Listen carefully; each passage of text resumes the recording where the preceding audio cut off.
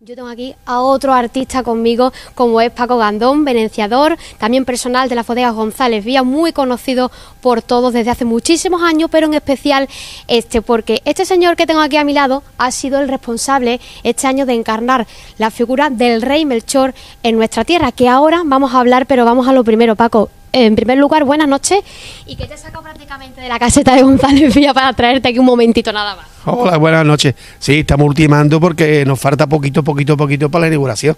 Entonces, una cosa rápida que me tengo que marchar, ¿eh? De verdad.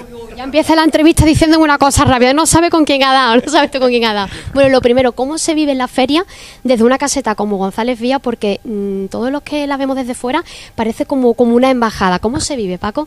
En la caseta González Vía se vive muy intensa, intensa porque empezamos muy temprano y terminamos muy tarde tenemos la, el hándicap de que tenemos que atender a nuestros clientes, atender a nuestros socios y atender a todos enteros.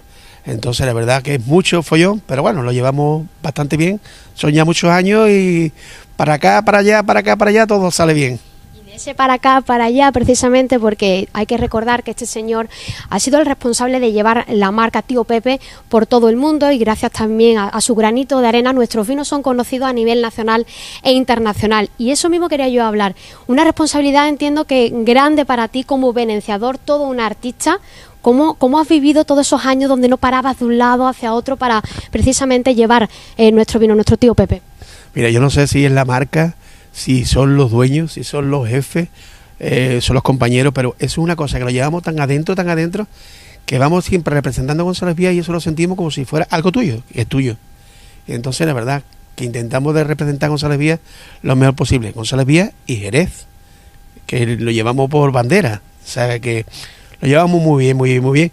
Hay veces que son penosos, pero bueno, más bien siempre, siempre es satisfactorio, siempre, siempre la, satisfacción cuando uno hace el trabajo bien hecho como lo hace eh, Paco Gandón, pero también me gustaría preguntarte, Paco, porque claro, nosotros aquí en Jerez lo vemos como algo muy algo muy natural, ¿no? Verte venenciar, te hemos visto tantas veces, pero cuando has salido también por, por todo el mundo, ¿qué te decía la gente cuando te veía con ese arte que tú tienes? Porque todo hay que decirlo.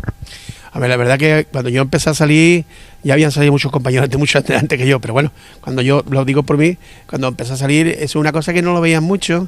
Entonces, cuando ya se sorprendía de que una persona con una, con una cosita de un metro y algo, eh, lo levantara un metro y algo también de, de estatura, lo metiera en un sitio tan pequeño, pues la verdad que se quedaban alucinados.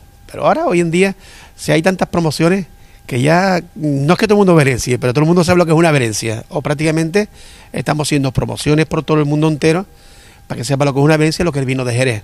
Va relacionado una cosa con la otra, entonces eh, hacemos promociones con Valencia, entonces ya no es tan, tan como antes, tan sorprendible como, como podía ser antes, ahora pues no sorprende tanto creo que vuelve a estar, eh, según las noticias que tengo, vuelve quizás a estar en auge todo el tema de venenciar, sobre todo por el tema de los chefs, tanto a nivel nacional como internacional, que le están dando ahí un pequeño empujoncito, Paco.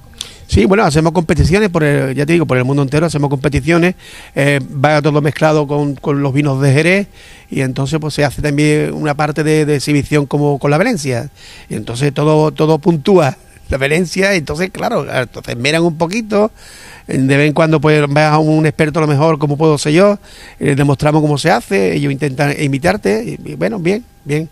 Bueno, y ya por último, y, lo dejo que se vaya para la caseta de González Vía, porque como se, vamos, como se pierde el alumbrado por mi culpa, no, quiero yo, vamos, no quiero ni pensarlo.